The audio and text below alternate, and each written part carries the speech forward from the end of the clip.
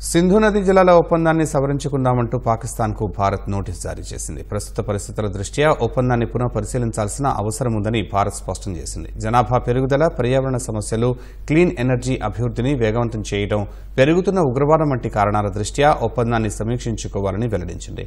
Kishan Ganga rattle ప్రాజెక్టులపై సుదీర్ఘంగా వివాదం కొనసాగుతున్న నేపథ్యంలో ఈ నోటీసులు జారీ చేసినట్లు సంబంధిత అధికారులు వెల్లడించారు.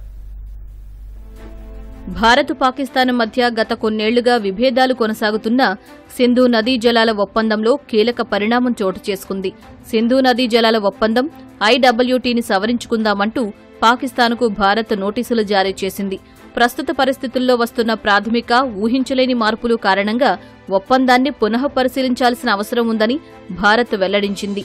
ఐడబ్ల్యూటీలోని ఆర్టికల్ పన్నెండు అధికరణం మూడు ప్రకారం ఆగస్టు ముప్పైన పాక్కు అధికారిక నోటీసు ఇచ్చినట్లు ప్రభుత్వ వర్గాలు తెలిపాయి. ప్రధానంగా జనాభా పెరుగుదల పర్యావరణ సమస్యలు భారతదేశ ఉద్గార లక్ష్యాలను చేరుకోవడానికి క్లీన్ ఎనర్జీ అభివృద్ధిని వేగవంతం చేయడం వంటి కారణాల దృష్ట్యా ఒప్పందాన్ని సమీక్షించుకోవాలని వెల్లడించాయి.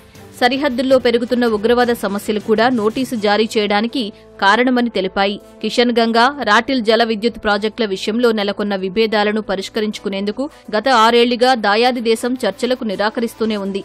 ఈ నేపథ్యంలోనే భారత్ ఈ నోటీసును పంపాల్సి వచ్చిందని సదరు వర్గాలు పేర్కొన్నాయి.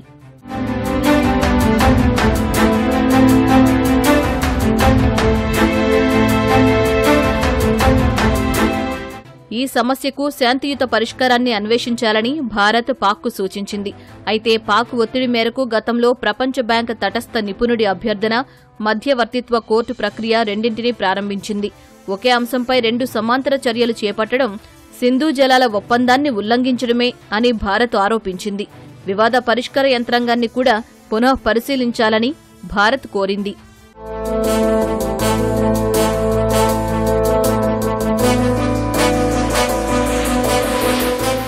సింధు నదీ జలాల వివాదాన్ని పరిష్కరించుకునేందుకు భారత్ పాక్ మధ్య పంతొమ్మిది వందల అరవై సెప్టెంబర్ పంతొమ్మిదిన ఈ ఒప్పందం జరిగింది.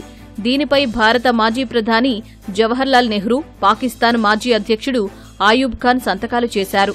తొమ్మిదేళ్ళ సుదీర్ఘ చర్చల అనంతరం ప్రపంచ బ్యాంకు సహకారంతో ఇరు దేశాల మధ్య నదీ జలాల పంపకాలు జరిగాయి. సింధు నదీ జలాల ఒప్పందంలో భాగంగా సింధు జీలం చీనాబ్ నదులు పాక్కు దక్కగా రావి బియాస్ సట్లెజ్ నదులు భారత్కు దక్కాయి. రెండు దేశాల మధ్య సహకారం కొనసాగేందుకు సింధు శాశ్వత కమిషన్ ఏర్పాటు చేశారు. దీనికి రెండు దేశాల నుంచి కమిషనర్లు బాధ్యులుగా ఉన్నారు.